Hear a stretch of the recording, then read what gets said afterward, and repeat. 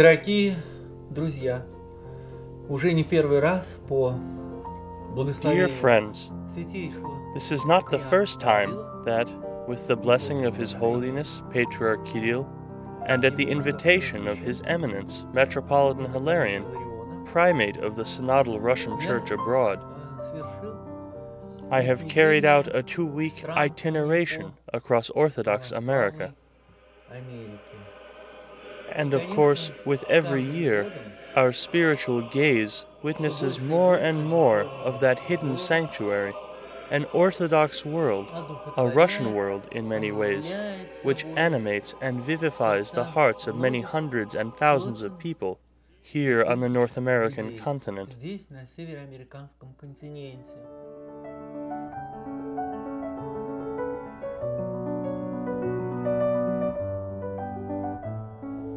Хороша Indian summer. Осень. в What they Америке call in America an называемая Indian у summer нас в is a России wonderful бывает thing. летом. Breathing Легко comes easily in the hills of New York. дышится На холмах штата Нью-Йорк, а это вовсе не один And here I mean not only the city, вид, whose bird's eye view is well known to those in Russia, хорошо известен. but the state, the vast region too, the lakes between which Chingachgook once galloped on his stallion.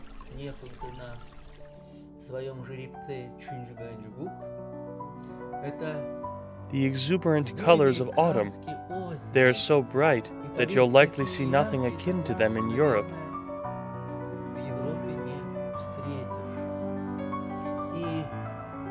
And in the bosom of this pristine wilderness, your heart begins praying to God of its own accord fluttering with joy. You can feel God's grace, which blesses the valleys and hills, the groves and thickets. This grace diffuses into the air itself.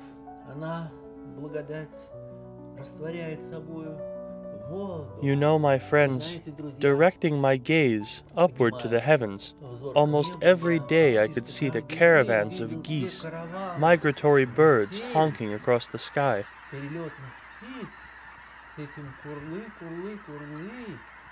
The golden grove has shed the conversation of its green tongue and quelled its birchen call. Indeed, there are birches here in America as well.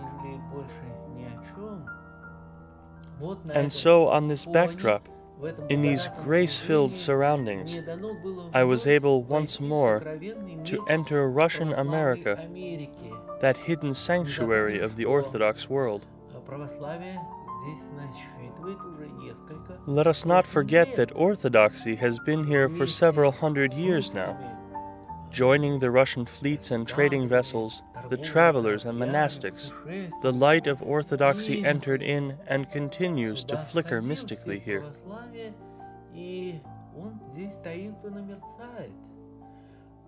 It reveals itself in incorrupt relics, in the blood of martyrs, in the private prayers of venerable monks, and in the lives of monasteries.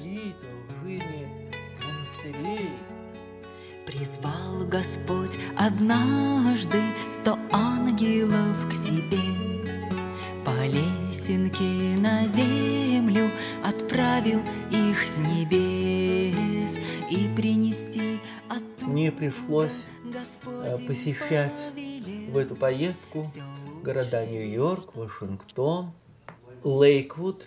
Over the course of my trip, I visited the cities of New York, Washington, and Lakewood, New Jersey.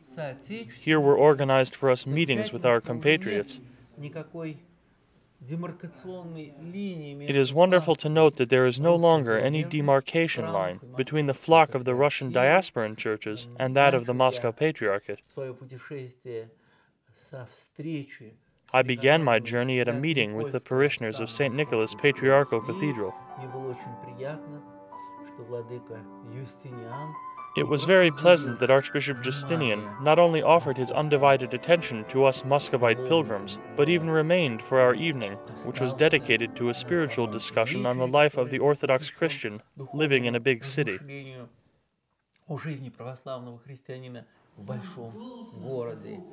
And of course, interaction between Orthodox people in New York or Washington or Lakewood is the principal spiritual fruit that we bear by our joint efforts.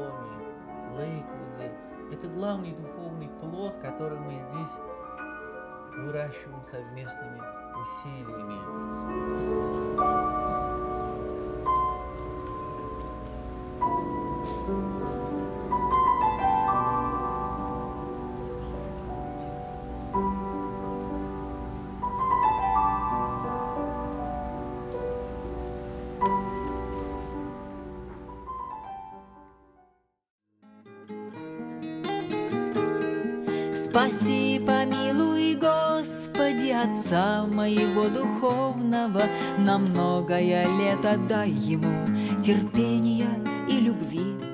Мне очень радостно здесь общаться с батюшками, многие из которых, получив образование, It is a joy for me to interact with the priests here, many of whom, having received a theological education in America, diligently labor in their parishes. забирающие все душевные Their labors are телесные complex ones, их occupying all силы. of their spiritual И, and конечно, physical дай strength. Бог, чтобы это общение становилось все более тесным, Of потому course, что нам God grant that our всегда interaction есть become all the more intimate, because we will always have something to share with one another. Импонирует э, простота, безыскусность клира, in this sense, I have always been impressed by the simplicity and authenticity of the clergy of the Russian Church abroad.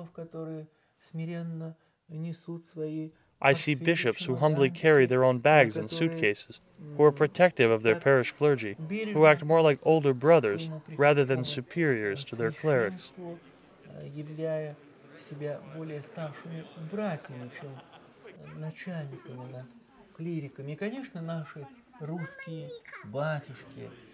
And of course, looking at our Russian batyushkas with the warmth of spirit that comes naturally to them, with their non formal, gracious attitude toward people, it would be mistaken to think that everyone in America is happy.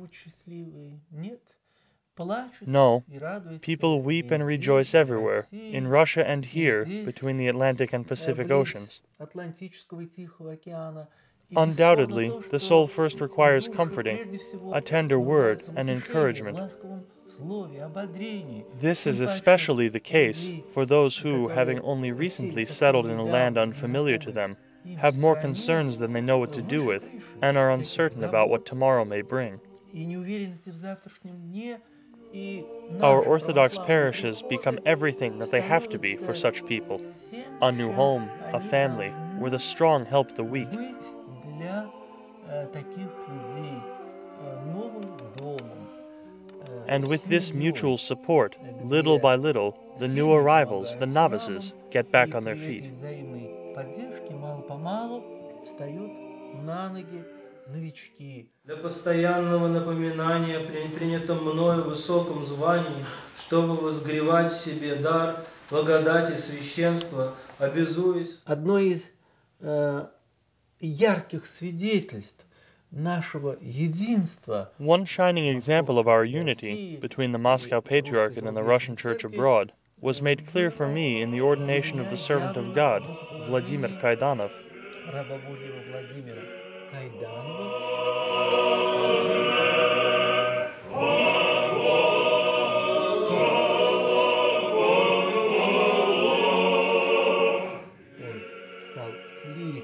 He became a cleric of the Church of the Holy Great Martyr and Trophy Bearer George in New Jersey, where he will serve under the supervision of the diocesan secretary, Archpriest Serge Lukyanov.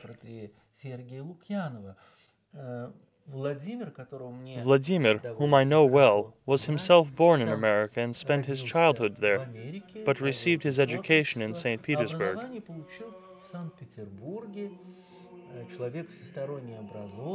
A well rounded and educated individual, he recently entered into a lawful church marriage, and the fates willed that he might return to the place of his birth, here becoming a priest.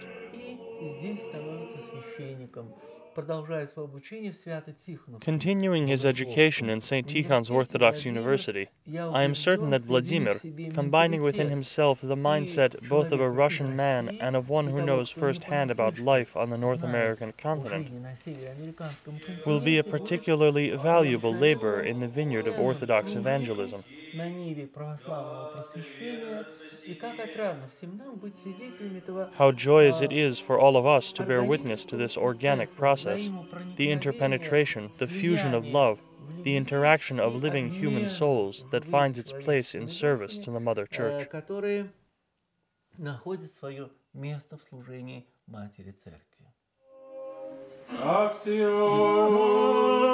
Мне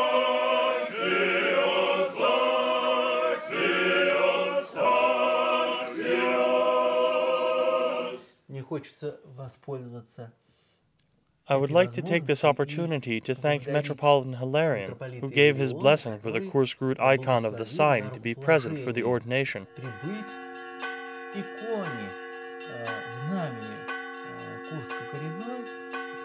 The icon was accompanied by the wonderful priest Nicholas Olchovsky, who fulfills the difficult obedience of always traveling with this icon which spends little time in the Synodal Cathedral in Manhattan, New York.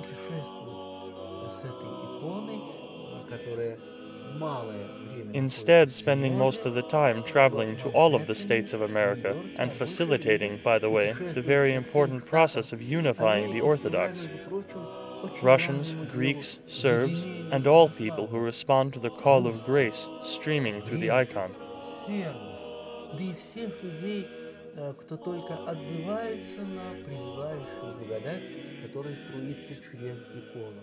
Великого Господина и Отца нашего Кирилла, Святейшего Патриарха Московского и всея Руси, Свято Троица Сергия Лавры, Священного Архимандрита и Господина нашего, Высокопреосвященнейшего Илариона Владыка Восточно-Американского Нью-Йоркского, Первой иерарха Русской Церкви, да победи Господь Бог в Царстве Своем, всегда ныне и присно и во веки веков. Руси власти Меня очень впечатлил в очередной раз замечательный приход. I was very impressed with my most recent visit to the remarkable parish of St. John the Baptist in Washington, where the wise and widely renowned Archpriest Victor Potapov serves as rector. известный своими историческими He is well known for his радиопрограммами. historic Orthodox radio programs, which aired on Voice of America.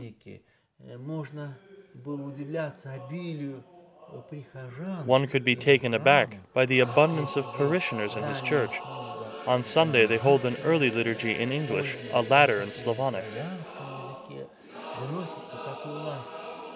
At the later liturgy, just as in our Church of All Saints in Alexeyevsky Monastery, they come out with three or four chalices to commune the faithful.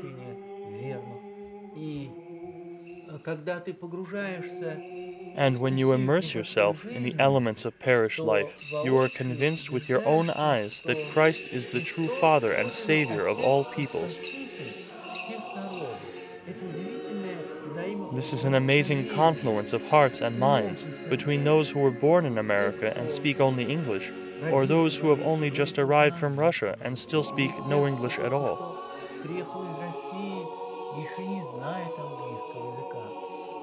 It is a true kinship of spirit when the national and regional differences take a back seat to the image of God radiating within us all, in the elderly and children alike, and they feel themselves light-hearted, free and at ease, like flowers in a summer meadow. Such is orthodoxy. It does not, as you know, exterminate that which is unique in the individual. Quite the opposite. It gives everything true value and significance. At the same time, it unites diverse tribes and peoples in one harmonious family, which offers mutual aid, joy in interaction, and of course a desire to praise the Lord with one mouth and one heart. Славить Господа едиными устами и сердцем. There is no readier example of this than what I mentioned the wonderful parish of Father Victor Potapov.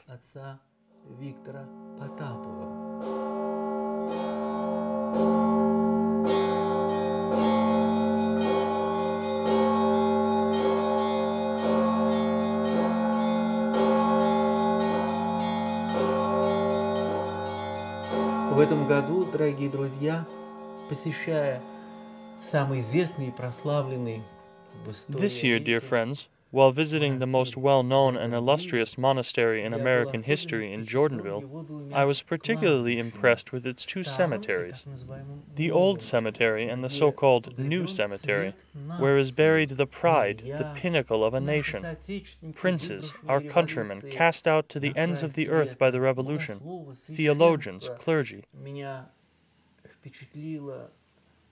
The condition of the cemeteries made me feel as though they were but awaiting the hour, concealed from us, of the coming of the Lord, when the tombs will open and the bodies will be resurrected. Silence and stillness reigned there. Here too is the grave of the murdered Jose Munoz, brother Joseph, the guardian of the myrrh streaming Montreal icon, which has unfortunately vanished.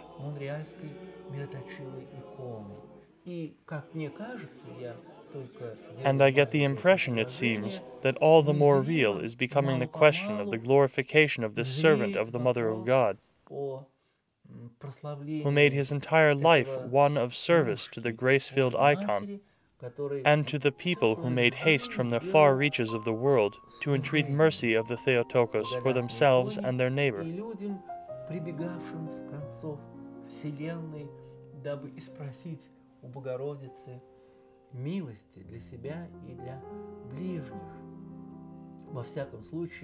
In any event, the person of Brother Jose demonstrates how the Mother of God chooses her servants, and by what hidden paths Orthodoxy is preached today, revealed in these wonder working icons.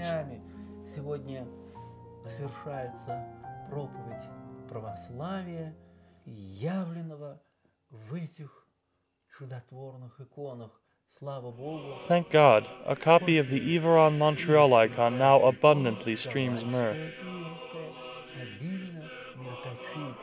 This is an unimpeachable proof of God's grace, which the Church bestows as a reward for the preservation of the purity of orthodoxy and for leading a good life as disciples of Christ.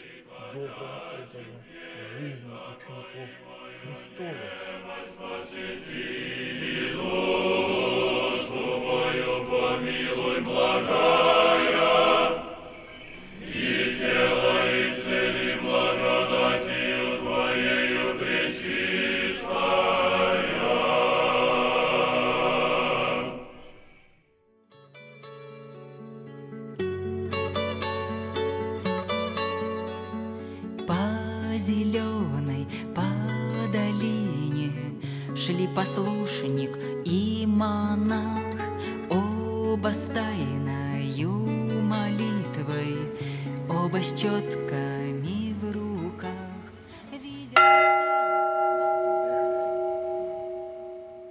The Holy Cross Monastery, монастырь Святого Креста, Holy Cross Monastery's primary feast day is that of the Exaltation.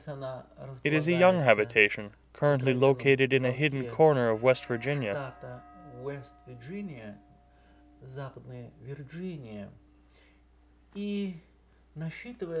With a brotherhood of over two dozen, the monastery strikes at your very heart with its quiet and truly monastic hymns.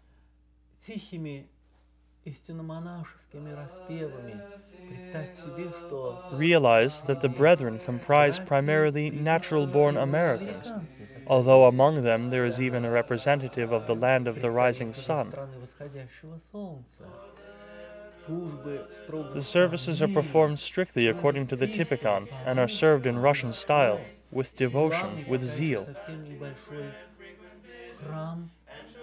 совсем небольшой храм The main, though still modest church is warmed by the abundance of holy relics, и спрятавшись, как and tucked away, like a squirrel or rabbit, in one of the stasidia that adorn the church in Greek fashion, на греческий манер, you depart into a wonderful world of prayer, which, once begun, does not wish to stop.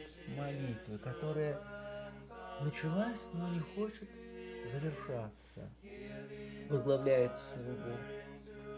Services in the monastery are led by Bishop George of Mayfield,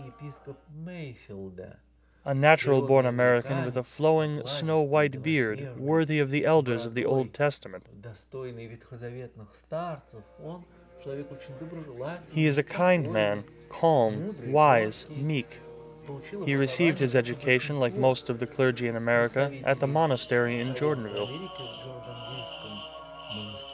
He fulfilled all of his obediences and everything asked of him, and now, having entered the ranks of the Russian diasporan hierarchy, works little by little alongside his monastery's brethren, benefactors, guests, and pilgrims in the formation of this remarkable, for America, world of Orthodox monasticism.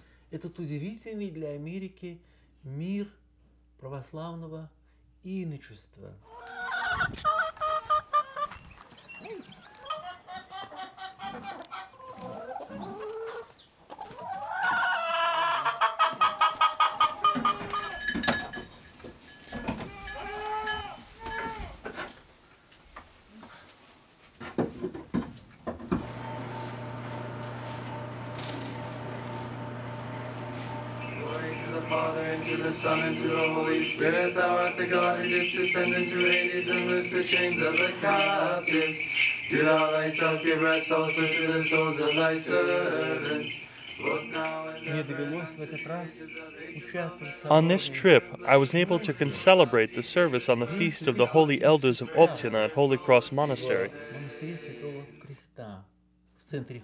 In the middle of the church stood a reliquary with the relics of Venerable Ambrose, Venerable Barsanufius, and all of the glorified Optina elders.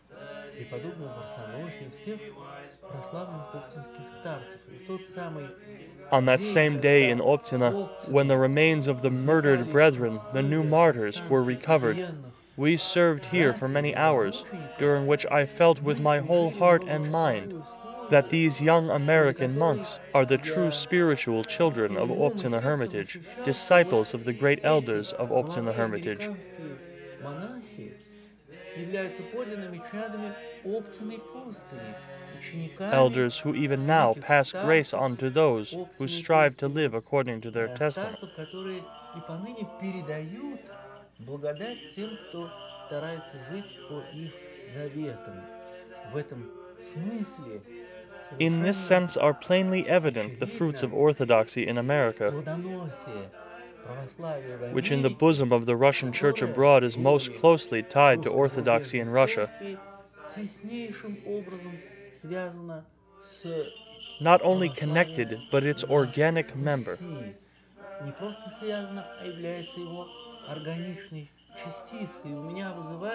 I am surprised, overjoyed, and grateful to God when I see 25 year old young men born in America who have never encountered the phenomenon that is historic Russia,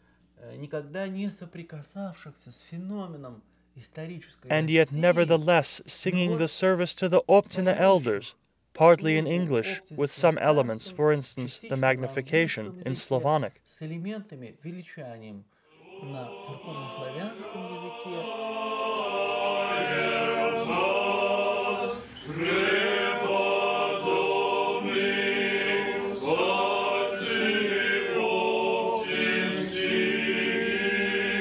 И я вижу, какую I can see the бережную, tender and трогательную touching любовь love with which the brethren approach the millennial heritage of the Russian Church as they familiarize themselves with the linguistic fabric of Church Slavonic, новую which is new and unfamiliar to them, and how organically this takes И как place. органично это получается.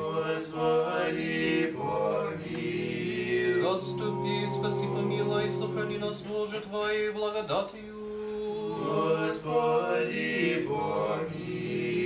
Пресвятую, пречистую, преблагословенную, славную владычицу нашу Богородицу и Пресную Деву Марию со всеми святыми помянувши сами себе и друг друга. Не и могу вещего от нас распространяться долго, скажу только, что Without getting long winded, I would just like to say this about the atmosphere of family and genuine brotherhood there, which makes room for a kind hearted smile, an edifying joke, и, конечно же, очень уважительного and, of course, deep and delicate respect for the internal world world of every human soul.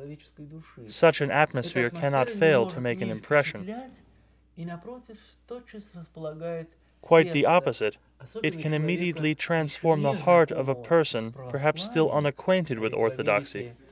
After all, America has traditionally been dominated by Catholic and Protestant confessions. And there are many people who sincerely believe in Christ as they know how, but are torn from the salvific bosom of the Mother Church. For this reason, they watch and observe these things with wide open eyes and gradually access the roots of the true faith.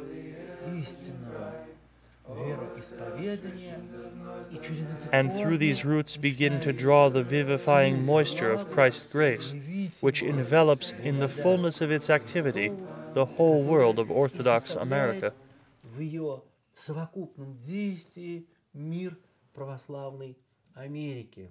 И дай Бог, чтобы God grant that the monastery of the Holy Cross's external physical growth accompany the habitation's spiritual growth. внешний рост обители мне хочется призвать вас I call on you, dear friends, to pray and actively participate in the completion of the monastic dormitory, which is growing by leaps and bounds. After all, it is very important for all those who wish to enter into the ranks of monastic laborers to have a place to physically abide. And the church, of course, with its limited parameters, no longer corresponds to the spiritual need. I firmly believe that the Lord God will multiply the number of good people, thanks to whose diligence and support might be erected a magnificent church which will answer the genuine needs of Orthodox evangelism in this corner of America. потребности православного просвещения в этом крае Америки.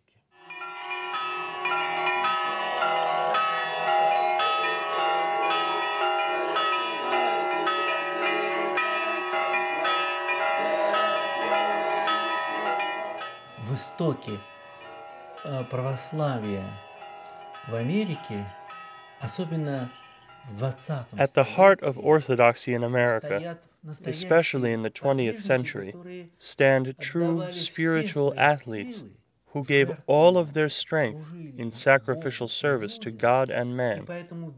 And so their work became all the more durable. The foundation was laid very deep. Among them were Archbishop John of Shanghai, Archbishop Averki, who was so close to him in spirit, and the first hierarchs of the Russian diaspora.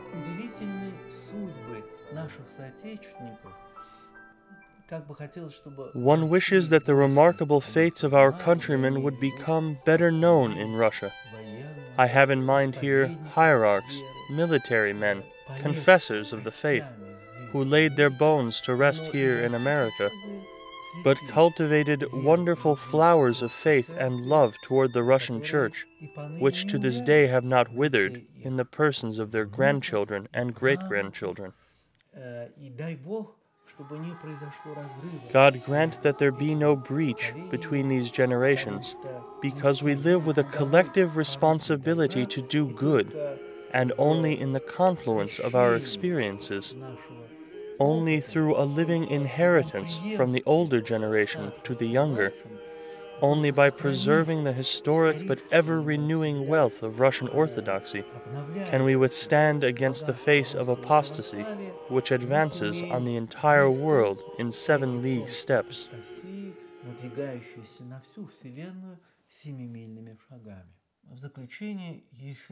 In conclusion, I once more genuflect before His Holiness, Patriarch Kirill, and Metropolitan Hilarion, who take great interest in such contact, travel, and interaction between their clerics, where work and pleasure adjoin, and in which is glorified ultimately our Lord Jesus Christ, who pours out his bountiful gifts on the Church and who guides the ship of Russian Orthodoxy and the entire universal Church to salvation. русского православия и всей Вселенской Церкви ко спасению.